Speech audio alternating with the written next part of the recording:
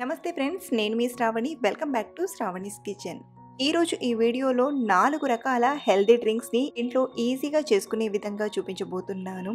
ఈ నాలుగు రకాల డ్రింక్స్ అనేవి చాలా టేస్టీగా ఉండటమే కాదు ఆరోగ్యానికి కూడా చాలా మంచిది. స్పెషల్లీ ఈ సమ్మర్లో ఎండ వలన తొందరగా అలసిపోతుంటారు నీరసంగా ఉంటుంది. మరి ఈ నాలుగు రకాల డ్రింక్స్ని ఎలా ప్రిపేర్ చేయాలో వన్ బై వన్ వీడియోలో చూసేద్దాం రండి. మరి ఆలస్యం చేయకుండా సూపర్ టేస్టీగా ఈ డెలిషియస్ డ్రింక్ చేసి ఆ ప్రాసెస్ని ఇప్పుడు చూసేద్దాం. ఇక్కడ నేను ఈ డ్రింక్ చేయడానికి ముందుగానే పాలను కాచి కాసేపు ఫ్రిడ్జ్లో పెట్టి తీసుకున్నాను. ఒక గంట ఫ్రిడ్జ్లో పెట్టి తీసుకుంటే పాలనేవి కూల్గా ఉంటాయి. మనం ప్రిపేర్ చేసే డ్రింక్ కూడా చాలా బాగుంటుంది. అంటే ప్రజెంట్ బయట ఎండలు మండిపోతున్నాయి కదా కొంచెం కూల్ కూల్గా తాగితే ఇంకా బాగుంటుంది. అలాగే ఈ పాల క్వాంటిటీ వచ్చేసి ఇక్కడ నేను ఒకటిన్నర కప్పు వరకు తీసుకున్నాను. ఇప్పుడు ఈ పాలను మిక్సర్ జార్లోకి తీసుకుందాం. అలాగే ఈ డ్రింక్లో నెక్స్ట్ వేసేది వచ్చేసి బనానా. నేను ఇక్కడ ఈ డ్రింక్లో వేయడానికి రెండు బనానాల్ని తీసుకున్నాను. బనానా పై ఉన్న పొట్టును తీసేసి చిన్న చిన్న పీసెస్గా చేసి తీసుకోండి. మీరు కావాలంటే ఈ బనానా ప్లేస్లో యాపిల్ సపోటా అంటే మనకు నచ్చిన ఫ్రూట్నైనా తీసుకోవచ్చు. ఇలా కట్ చేసిన బనానా ముక్కల్ని కూడా పాలల్లోకి తీసుకుందాం. అలాగే ఒక ఆరు జీడిపప్పు పలుకుల్ని కూడా తీసుకుందాం. అలాగే స్వీట్ కోసం ఒక మూడు టేబుల్ స్పూన్ల వరకు పంచదారను తీసుకుందాం. ఇక్కడ నేను నార్మల్ షుగర్ని తీసుకుంటున్నాను కదా మీరు కావాలంటే కండ చక్కెరనైనా తీసుకోవచ్చు. అలాగే మీరు కావాలంటే కొంచెం చక్కెరను తగ్గించి లేదా పెంచుకొనైనా తీసుకోవచ్చు. ఇందులోనే ఫ్లేవర్ కోసం నాలుగైదు ఇలాచీని కూడా తీసుకొని మెత్తగా గ్రైండ్ చేయండి. బనానా జీడిపప్పు పలుకులు అనేవి ఎక్కడా ఉండకుండా ఫైన్గా గ్రైండ్ చేసి తీసుకోండి. ఇలా గ్రైండ్ చేసిన ఈ జ్యూస్ని ఇప్పుడు ఒక మిక్సింగ్ బౌల్లోకి తీసుకుందాం. ఇప్పుడు మన నెక్స్ట్ ఇంగ్రీడియంట్ వచ్చేసి నేను ఇక్కడ పది పన్నెండు బాదాంలని ముందుగానే నానబెట్టి పొట్టు తీసేసి తీసుకున్నాను. ఇలా నానబెట్టిన బాదాంలను చిన్న చిన్నగా కట్ చేసి తీసుకోండి. ఇలా కట్ చేసిన బాదం ముక్కల్ని కూడా జ్యూస్లోకి యాడ్ చేసుకుందాం. అలాగే చిన్న చిన్నగా కట్ చేసిన ఒక బనానా ముక్కల్ని కూడా తీసుకుంటున్నాను. చెప్పాను కదా మీరు కావాలంటే ఈ బనానా ప్లేస్లో మీకు నచ్చిన సపోటా అయినా లేదా యాపిల్ అయినా తీసుకోవచ్చు. నెక్స్ట్ వచ్చేసి సబ్జా గింజలు.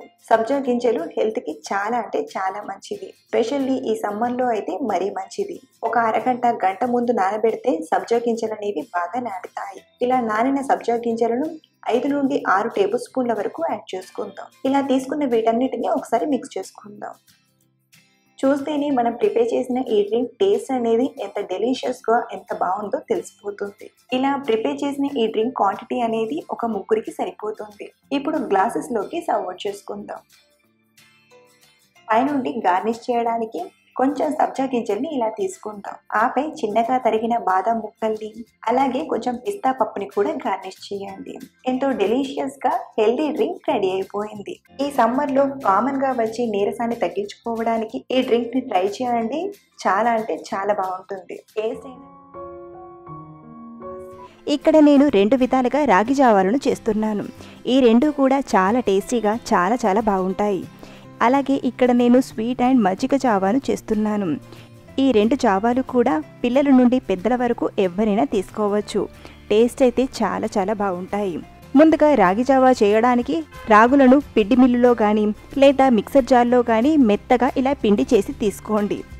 ఇలా మెత్తగా పిండి పట్టించాక ఒక పెద్ద గిన్నెలోకి మూడు టేబుల్ స్పూన్ల రాగి పిండిని తీసుకుందాం. ఈ రాగి పిండితో చేసిన జావా ఒక నలుగురికి సరిపోతుంది. ఇప్పుడు ఇందులోనే నీళ్ళను కొంచెం కొంచెం వేసుకుంటూ కలపండి. పిండి ముద్దలు లేకుండా ఇలా బాగా కలిపాక మళ్ళీ ఇందులో ఒక రెండు గ్లాసుల నీళ్ళను యాడ్ చేసుకుందాం. ఇక్కడ నేను మొత్తం ఒక మూడు గ్లాసుల వాటర్ని యాడ్ చేశాను. పిండి ఇలా పలచగా కలిపాక స్టవ్పై పెట్టి జావాను ప్రిపేర్ చేసుకుందాం. జావా మరగడానికి ఇలాగే వదిలేస్తే పిండి అనేది కింద ముద్దలు కట్టేస్తుంది. కాబట్టి మధ్య మధ్యలో కలుపుతూ జావాను మరిగించండి.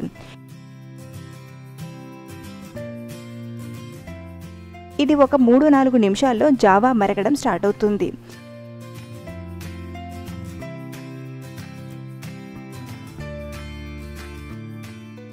ఇలా మామూలుగా పైన వచ్చిన నురుగ ఉంటుంది కదా దీన్ని తీసేసుకుందాం. ఈ జావా కాస్త చిక్కబడేంత వరకు మూడు నాలుగు నిమిషాలు మరిగించండి.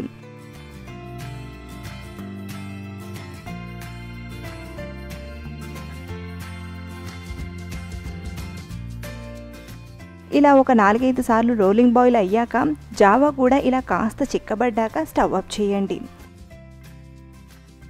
ఇది చల్లారిన తర్వాత మరి కాస్త చిక్కబడుతుంది. ఇలా చేసిన జావాను ఒక గ్లాసుడంతా మరొక బౌల్లోకి తీసుకుందాం. అలాగే మరొక గ్లాస్ జావాను ఇంకొక బౌల్లోకి తీసుకుందాం. ఇక్కడ మనం టూ టైప్స్ జావాను ప్రిపేర్ చేస్తున్నాం కాబట్టి నేను ఇక్కడ రెండు గిన్నెలోకి తీసుకున్నాను. ముందుగా స్వీట్ జావా కోసం ఇందులో ఒక టేబుల్ స్పూన్ బెల్లం తురుమును వేసి కలపండి. ఈ జావాలోని వేడితో ఈ బెల్లం అనేది కరిగిపోతుంది. జావాలో బెల్లం కరిగేసరికి మనం మజ్జిగ జావాను ప్రిపేర్ చేద్దాం. ఒక రెండు టేబుల్ స్పూన్ల పెరుగుని ఒక గిన్నెలోకి తీసుకొని బాగా బీట్ చేయండి. పెరుగు ముద్దలు లేకుండా ఇలా బాగా కలిపాక ఇందులో కొంచెం వాటర్ వేసి చిక్కటి మజ్జిగలా చేయండి. చూడండి ఇంత చిక్కగా ఉంటే సరిపోతుంది. ఇప్పుడు రెండో గిన్నె జావాను తీసుకొని రుచికి సరిపడా ఉప్పు వేసి బాగా కలపండి. అలాగే మనం చేసిన మజ్జిగను కూడా మీరు తాగే చిక్కదనాన్ని బట్టి యాడ్ చేయండి. మజ్జిగ ఎంత వేసినా టేస్ట్ చాలా బాగుంటుంది. ఇక్కడ నేను ఒక పావు కప్ అంతా మజ్జిగను యాడ్ చేశాను. అంతే ఉప్పు సరిపోయిందో లేదో చూసి సర్వ్ చేయడమే.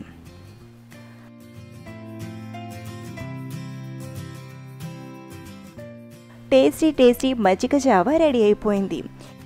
ఇప్పుడు రెండవ స్వీట్ జావా ప్రాసెస్ని చూద్దాం. జావాలోని బెల్లం అంతా కరిగిపోయింది. ఇప్పుడు కాచి చల్లార్చిన పాలను కొంచెం వేసి కలపండి. పాలు ఎక్కువైనా తక్కువైనా ఏమీ కాదు. మీరు తాగే కన్సిస్టెన్సీని బట్టి వేసుకోవడమే.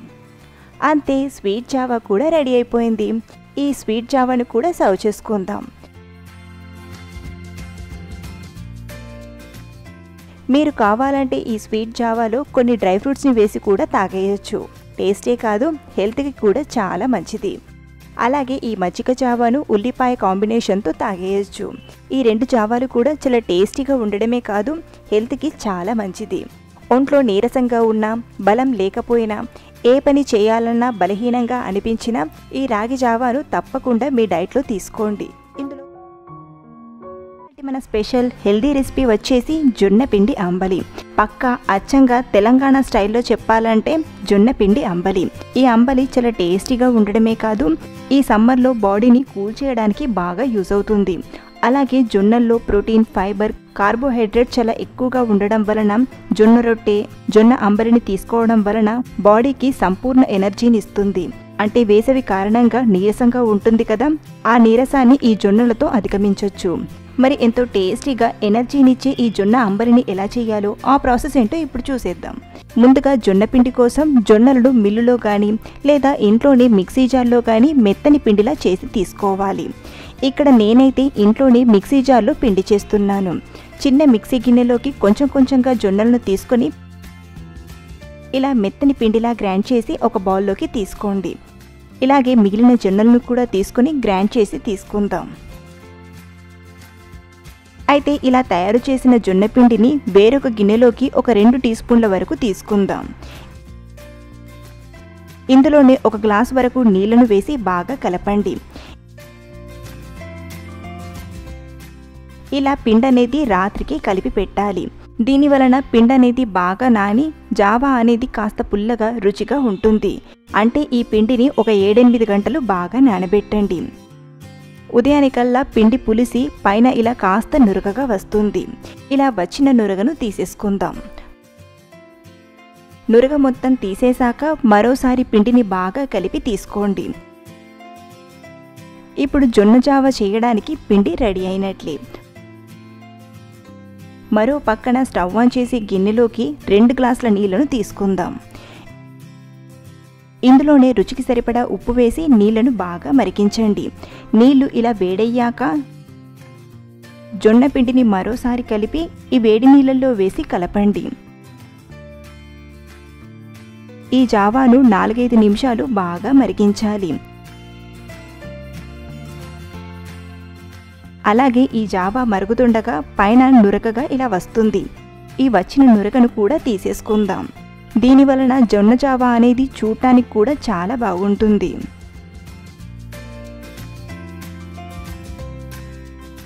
జావా కాస్త సెమీ చిక్కగా వచ్చేంత వరకు బాగా మరిగించండి.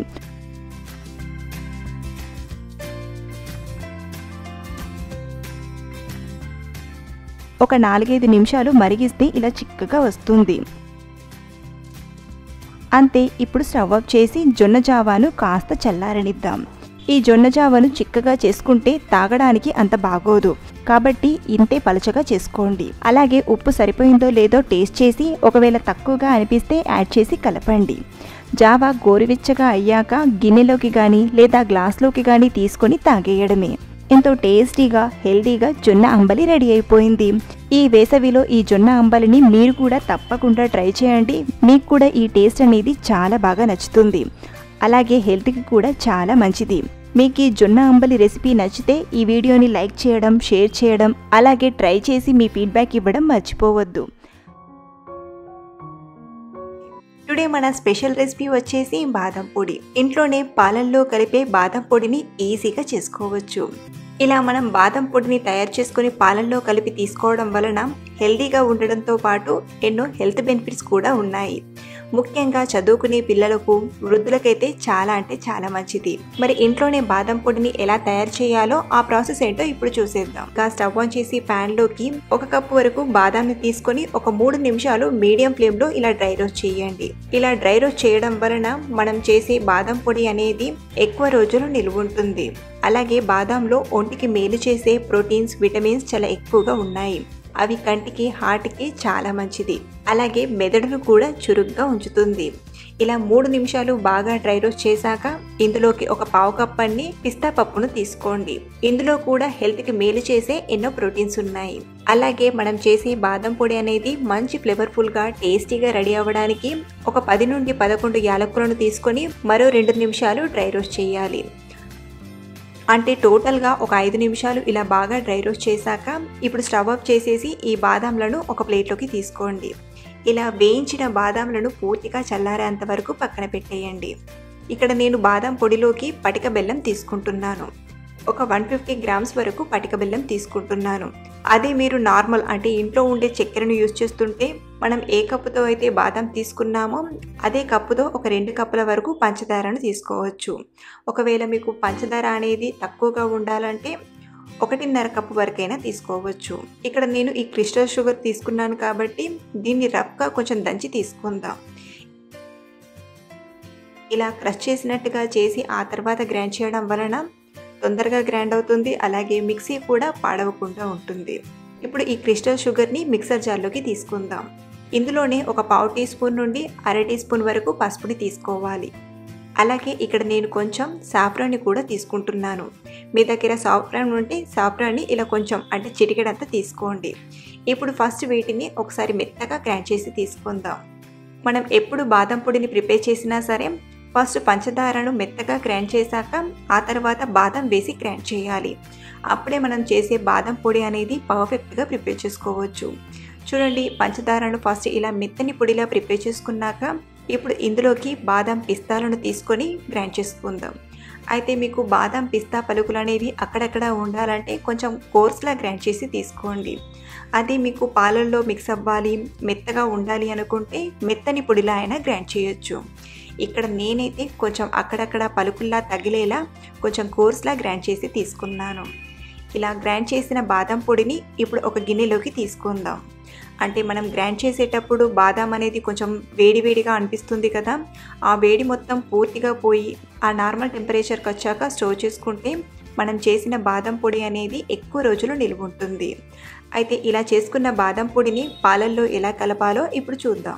కాచిన పాలను ఒక గ్లాస్లోకి తీసుకొని మన టేస్ట్కి అనుగుణంగా ఒకటి రెండు టీ స్పూన్ల వరకు బాదం పొడిని వేసి బాగా కలపండి. అంతే బాదం పాలు రెడీ అయిపోయాయి. హెల్దీగా ఇలా బాదం పాలను తీసుకోవచ్చు. క్విక్గా బాదం పాలు తాగాలంటే ఇలా బాదం పొడిని ప్రిపేర్ చేసుకోవడం బెస్ట్ ఆప్షన్. మనం బాదం పాలను ఇంకొంచెం హెల్దీగా చేసుకోవాలి అంటే బాదంని ఫస్ట్ నానబెట్టి బాదం పాలను ప్రిపేర్ చేసుకోవాలి. నానబెట్టిన బాదంతో బాదం పాలను ఎలా చేసుకోవాలో వీడియో చేశాను. లింక్ అనేది నేను డిస్క్రిప్షన్లో పెడతాను. ఒకసారి చూడండి. అలాగే ఇలా చేసిన బాదం పొడిని మనం స్టోర్ చేసుకొని ఒకటి రెండు నెలల వరకు యూస్ చేయొచ్చు. సో ఫ్రెండ్స్ సింపుల్గా హెల్తీగా బాదం పొడిని ఇంట్లోనే ఎలా ప్రిపేర్ చేయాలో చూసాం కదా. మీరు కూడా ఇంట్లో ఒకసారి ట్రై చేయండి. టేస్ట్ అనేది చాలా బాగుంటుంది. అలాగే హెల్త్కి కూడా చాలా మంచిది. ఈ రెసిపీ మీకు నచ్చితే ఒక లైక్ చేసి మీ ఫ్రెండ్స్కి షేర్ చేయండి. అలాగే మరిన్ని రుచుల కోసం మన శ్రావణి కిచెన్ ఛానల్ని సబ్స్క్రైబ్ చేసుకోండి. Thank you for watching.